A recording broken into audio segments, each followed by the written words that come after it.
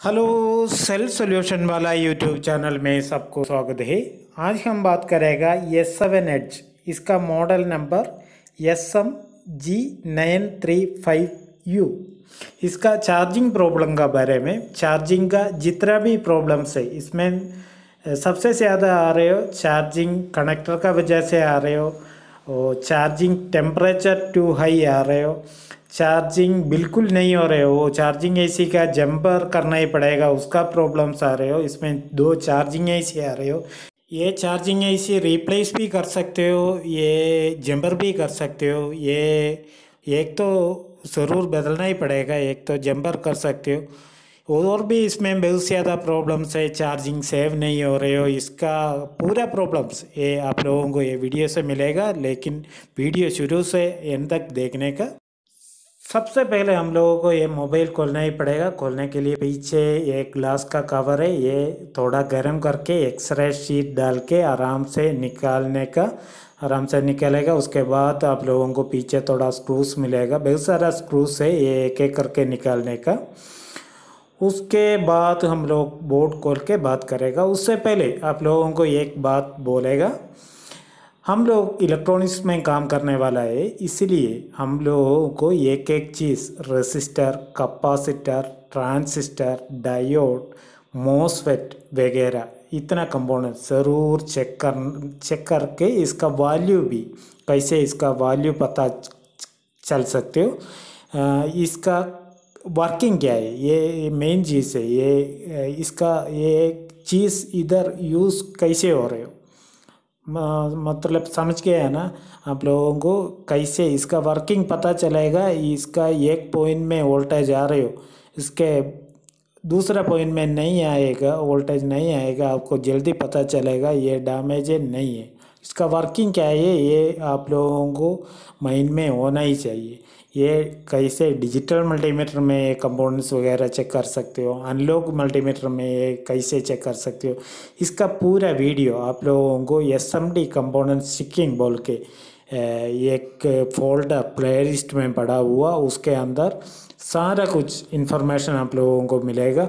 ये सारा वीडियो देखेगा तो आप लोगों को बहुत फ़ायदा मिलने वाला वीडियो से।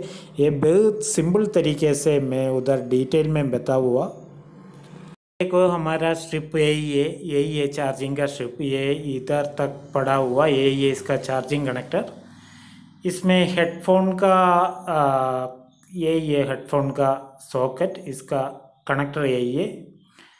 आप लोगों को ये चार्जिंग कनेक्टर का प्रॉब्लम है तो चार्जिंग कनेक्टर कैसे बदल सकते हो, ये इसके बारे में मैं पहले बोलेगा।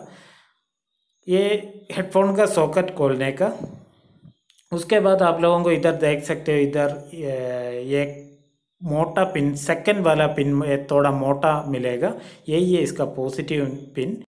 इसमें आपको पूरा सात पिन मिलेगा। ये साइड वाला, ये सेकंड वाला पॉजिटिव वो पॉजिटिव में आप लोगों को सप्लाई चेक करके देखने का, उधर पॉजिटिव फाइव वोल्टेज मिलना ही चाहिए। सबसे लास्ट सेकंड लास्ट वाला।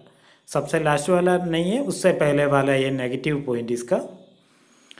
उधर भी मल्टीमीटर डाल के आप लोगों को चेक कर सकते हो। मल्टीमीटर का माइनस प्रोब उधर लगा के इधर प्लस लगा के चेक रहेगा तो फाइव वोल्टेज मिलना ही चाहिए। अगर नहीं मिल रहे तो चार्जिंग कनेक्टर खराब हो सकते हो।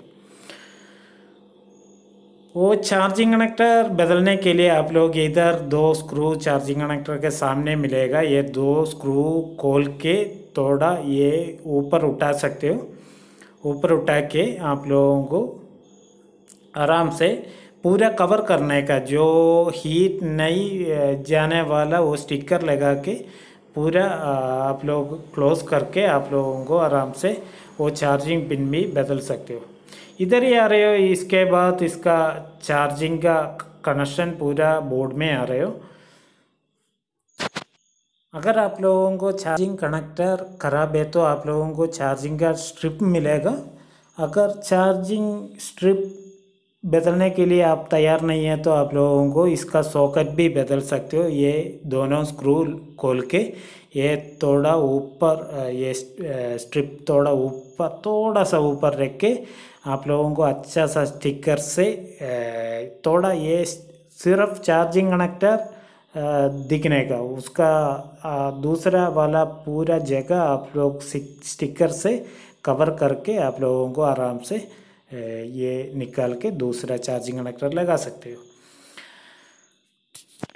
अगर चार्जिंग कनेक्टर में ओके है वोल्टेज ओके है स्ट्रिप में कोई मसले है तो वो कैसे चेक कर सकते हो? मैं बोलेगा। उसके बाद बोर्ड में आ रहे हो, वो भी मैं बोलेगा। पहले बोर्ड का किधर आ रहे हो ये बोलेगा। इसके लिए हम लोगों को ये थोड़ा खोलना ही पड़ेगा। ये डिस्प्ले का स्ट्रिप, कैमरा का स्ट्रिप, ये फ्रंट कैम, ये स्पीकर का, ये तो ओलियन का, ये पूरा स्ट्रिप खोलने का। उसके बाद इधर दो एंटीना का जो कनेक्टर है, वो भी थोड़ा खोलने का। उसके बाद चाहिए तो बैटरी रिमूव करो, नहीं है तो रहने दो। मैं थोड़ा बैटरी भी बाहर रखेगा उसके बाद आप लोगों को आराम से ये बोर्ड निकाल सकते हो। इसके नीचे ये चार्जिंग का स्ट्रिप का कनेक्शन वो भी थोड़ा उतार के ऊपर थोड़ा लगाएगा तो बोर्ड आराम से खुल जाएगा। ये देखो, ये ये हमारा बोर्ड इसमें पहले तो काम किया हुआ, कोई टेंशन नहीं है। चार्जिंग सेक्शन इधर ही आ रहे हो।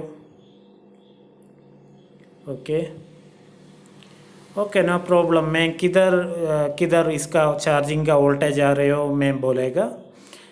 पहले हम लोगों को कनेक्टर तक चेक करेगा। कनेक्टर से स्ट्रिप में किधर आ रहे हो, ये पूरा मैं आपको बोलने वाला ये ये देखो, हम लोगों का मल्टीमीटर इधर 20 वोल्ट अटैचमेंट डाल के इधर साथ में लगा हुआ माइनस प्रोब में नेगेटिव में लगाया चार्जिंग भी लगाया चार्जर भी लगा के लगा हुआ।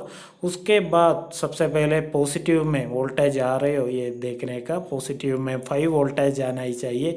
ये हमारा ठीक है फाइव वोल्टेज आ रहे हो फाइव पॉइंट फाइव तक आ रहे हो, ठीक है। उसके बाद चार्जिंग का पॉजिटिव वोल्टेज सीधा इधर ही स्ट्रिप में किधर आ रहे हो मैं बोलेगा? स्ट्रिप में ये पॉइंट में आ रहे हो। ये वाला पॉइंट में। इधर लगा के आप लोगों को देखने का इसमें कितना वोल्टेज आ रहे हो। फाइव पॉइंट फोर तक वोल्टेज आ रहे हो। मतलब हमारा स्ट्रिप भी ओके है। इसका स्ट्रिप को भी चार्जिंग कनेक्टर को भी कोई प्रॉब्लम नहीं है। ये फ़र्स्ट वाला, ये पॉजिटिव ये लास्ट वाला नेगेटिव ओके इधर भी लगा के चेक करो, कभी नेगेटिव भी ब्रेक होने के लिए चांसेस है, ये वाला पॉजिटिव है, ये याद रखो। ओके इधर पॉजिटिव प्रोब रखो, दूसरा साइड में नेगेटिव लगाएगा तो भी पाँच वोल्टेज मिलना ही चाहिए। अगर मिलेगा तो स्ट्रिप ओके है चार्जिंग कनेक्टर भी ओके है। हमारा ये चार्जिंग कनेक्टर भी स्ट्रिप भी ओके है।